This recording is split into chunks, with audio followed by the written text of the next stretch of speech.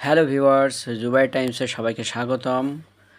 Friday আমি আজকে মনে করছিলাম যে কিছু বাসায় আমার প্লান্টগুলো আছে, সেগুলো নিয়ে কাজ করব। তো মানি প্লান্ট আমি আমার বাসায় যেটা ছিল সেটাকে আমি আরও বৃদ্ধি করার জন্য এবং বিভিন্ন জায়গাতে ছড়িয়ে দেওয়ার জন্য সেগুলোকে টুকরো টুকরো করে কেটে পাতা আলাদা করছিলাম। আপনারা জানেন মানি প্লান্টের সঙ্গে শেকড় থাকে। সেই শেকড় থেকে কিন্তু একটি পরিপূর্ণ গাছ হওয়ার সম্ভাবনা থাকে। তো আমি সেগুলোকে সুন্দর করে কেটে রাখছিলাম বোতলের মধ্যে পানি দিয়ে এবং পরবর্তীতে সেটা আমি প্রায় এক সপ্তাহখানেক রেখে দেওয়ার পরে সেটার অবস্থা কতটুকু দাঁড়িয়েছে সেটা আপনাদেরকে দেখাবো।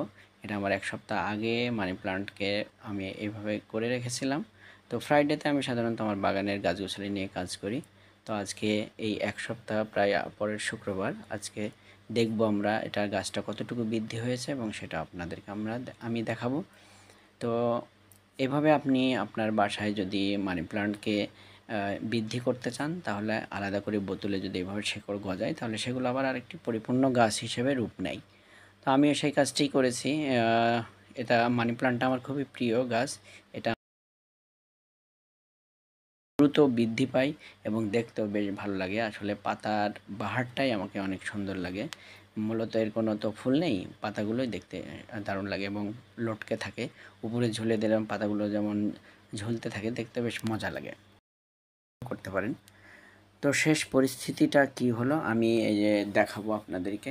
আমার কিন্তু একটা গাছ আমি মানি প্লান্ট নিয়ে আসলাম। এর থেকে এতগুলো আমি বৃদ্ধি করেছি। বিভিন্ন কিছু টবে দিয়েছি, কিছু আমার ব্যালকনিতে আছে এবং আমি পরবর্তীতে আরও বোতলে পাতাগুলোকে কেটে কেটে রাখছি সেখান থেকে গাছ হওয়ার জন্য।